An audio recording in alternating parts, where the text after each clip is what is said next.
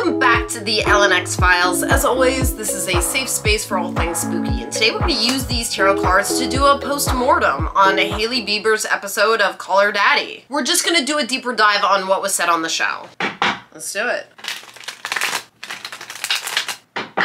So I really enjoyed this episode of Call Her Daddy. In fact, it was the first time I'd watched an entire episode.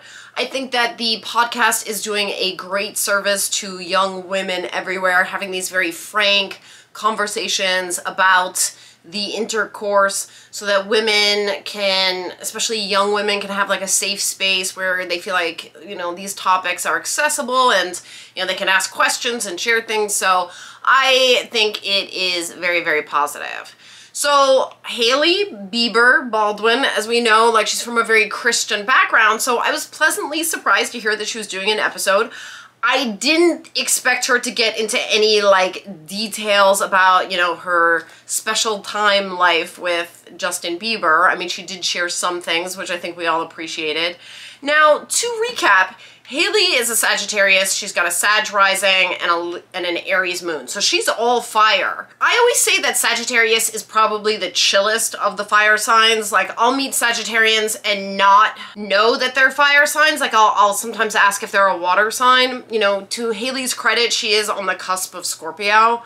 So Alex, the host of Call Her Daddy, she is a Leo. So I definitely felt like the interview to me was like a meeting of two fire signs. Like there's a lot of like laughter and like warmth and like frankness and like extroverted humor. So Hailey saying how she's like a people person and how she likes meeting new people and being cool with people and not having any bad blood with people. That's very, very Sag. That's like the Sag playbook. I thought it was very interesting in the interview that they didn't refer to Selena by name ever. They just called her her, like out of respect to Hailey. So I thought that was interesting just because like she has to deal with so much like drama and bullying online. And I was also really surprised that like so much of the interview was talking about that. Like I know that Hailey, I know that Hailey is bullied online, but like I guess I never fully grasped the extent that it's like all day, every day by these, you know, Selena, Jelena fans.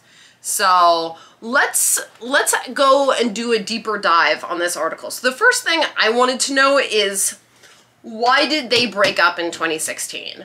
So the gossip that I've heard about this was that like Hailey Baldwin was like going to the airport to like meet Justin to go on some like vacation, some tropical paradise, and he just like broke up with her over the phone and was like, don't come.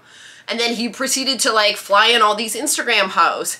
And then he proceeded to date Sofia Richie for a month. And then he got back with Selena. Like I, like he just kind of lost her mind and then they didn't speak for two years. And so I just assumed that Justin had a freak out because he wasn't in a very stable place and he, because he's a pop star. And so, you know, the two kind of go hand in hand. So what was that about? The second thing I would like to know is why did these two get back together in the first place? Because basically time had passed. It was like over it was like over two years or almost two years. Time had passed. Okay, right? They ran into each other at a Christian conference. Right. Like you don't run into Justin Bieber at any conference. Like he travels with security. Like he's whisked away to like the secret wing of the conference. You don't run into him at the punch bowl and you're like, oh, hey, Justin. So Hailey kind of alluded to these things in the interview. She was just kind of like, well, we know what happened and we know how we got here. And she's like, and I know, and I was there. And like, we're not here to rip her privacy to shreds. We're just kind of like, hey, can you give us another hint about like how that rekindling came about? Because, you know, it was quite a rekindling, right? Can you tell us anything about the power dynamics in the Justin and Hailey relationship? So, like, when she talks about her mom, she's just like, my mom was so gentle and so sweet and she just, uh, she doesn't always, you know, stick up for herself. And I was like, oh, like, you mean your, your mom's a doormat is essentially what I was like, that's what I'm hearing. I was like, nice lady, kind of a doormat. Like that's what I, I mean, let's, let's just get real, folks. Yeah? Okay. So is Hailey a doormat in this relationship? What are the power dynamics like? I really hope Justin is not like calling the shots in this relationship because that'd be kind of scary, you know? Okay. How bad is the mental health stuff? You know, because she did allude to feeling suicidal. That's that she didn't use that word. I'm using it. Like she said that, you know, she's thought about not being here. She's gone on some 7-day mental health retreat where you're in therapy for hours. That sounds like hell. And she did say therapist at one point, but she also said psychiatrist, meaning like someone who prescribes medication to balance you out, which I have zero problems with, you know. I, if you were under her level of scrutiny and public attention, probably a lot of people would be seeing a psychiatrist. So no no judgments here folks. So just give us a sense of how bad it is, it can get or has gotten. And last thing, anything else you want us to know about their special time life between Justin and Hailey? Like, we're not here to rip their privacy to shreds. We're just asking the spirit guys. I thought it was really cute when she said, you know, the doggy style word, and like the Alex was like, Thank you, Hailey. That is so beautiful you said that. I thought it was really funny because, you know, her answers were like kind of vague at times, or you're like, what? Like, which do you like better, coffee or chocolate? And she's like, oh, they're really both great. I love both. Always, you know? So, anyway. Okay, so let's start with the first question. Why did they break up in 2016? Um, wow, this is like really infuriating when the guides do this. So, okay. We asked this question, yes, and all we got was the Eight of Cups. So the Eight of Cups is a classic breakup card. So that's like saying, hey, why did you fall? And the guides are like, yeah, we fell. Mm-hmm. So basically in saying, why did they break up? They're saying, yeah, they broke up. But if we look closer at this card, there are actually other hints there. So basically what's happening here is that someone's leaving a situation that's pretty good. You know, eight cups, that's nothing to sneeze at. But they're saying, these cups aren't doing it for me. I have to put on my red cloak of passion and then go find like what's really right for me. And so basically what they're saying is that like Justin was kind of searching back then. The person that she was as a teenager just, you know, it wasn't right at the time. It wasn't what he needed or what he thought he needed at the time is what this is suggesting. And he was looking for something else. I know it's not a great answer, but this is, I mean, it's relevant. Okay. How did they rekindle in 2018? Like, can you tell us anything else about that? Oh, interesting, interesting, interesting. Okay, so we got the Six of Swords. So this is a card that can come up for breakups. It's basically leaving a, uh, a broken, rocky situation and going to find calmer waters. But it can also come up with a couple that's doing that together. So basically, when they crossed paths in 2018, they were sort of like seeking shelter together, is what this is suggesting. Like, Justin was in a place where he needed calmer waters.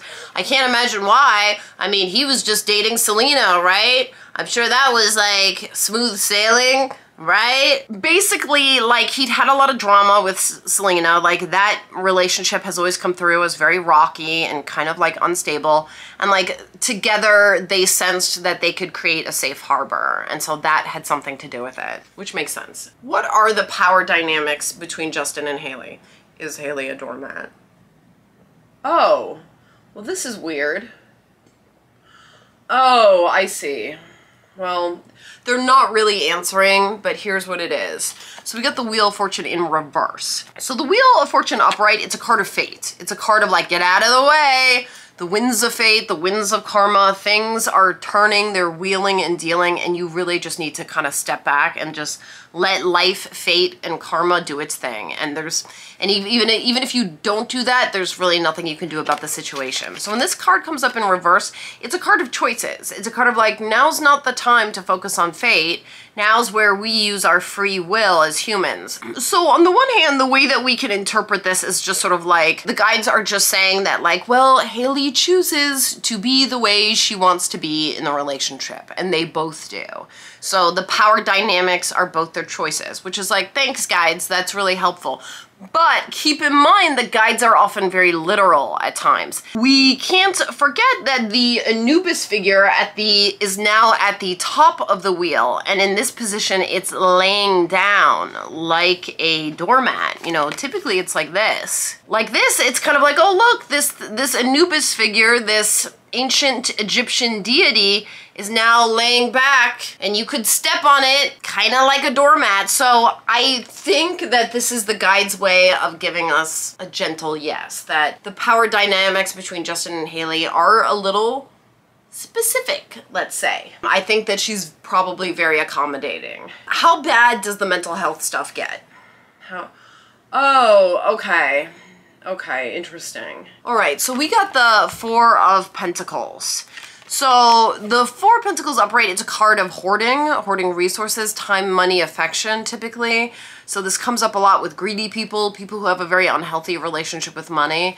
So when this card comes up in reverse, it's a card of wanting to let things go. So it's good because it's not like a, a terribly fatalistic card, so it wouldn't be correct to I don't think it would be correct to label or use the word suicidal, but like it, it, suggests that things can get so challenging and so dark that she just wants to let it all go. Like she wants to just be like, oh, I'm just gonna like go to the forest and live in the woods by myself. I'm just gonna let go of all of this. It's a desire. It's it's a strongly escapist type of card. You know, it's a little nihilistic. And is there anything else you can tell us about their special time together?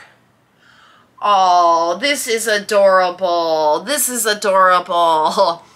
We got the Ten of Cups. So this is like the happily ever after card. It's like so cute and so sweet. And that's why it doesn't come up that much in readings. Like we don't really get it a lot. So it's it's the fairy tale ending. It's the card of like, oh, I love you and I love our life together and we have these 10 cups of love and abundance and this rainbow and this happy home. And yes, there are children here and they don't have kids yet, but it may be suggesting that that is in the future. I mean, I'm sure it is.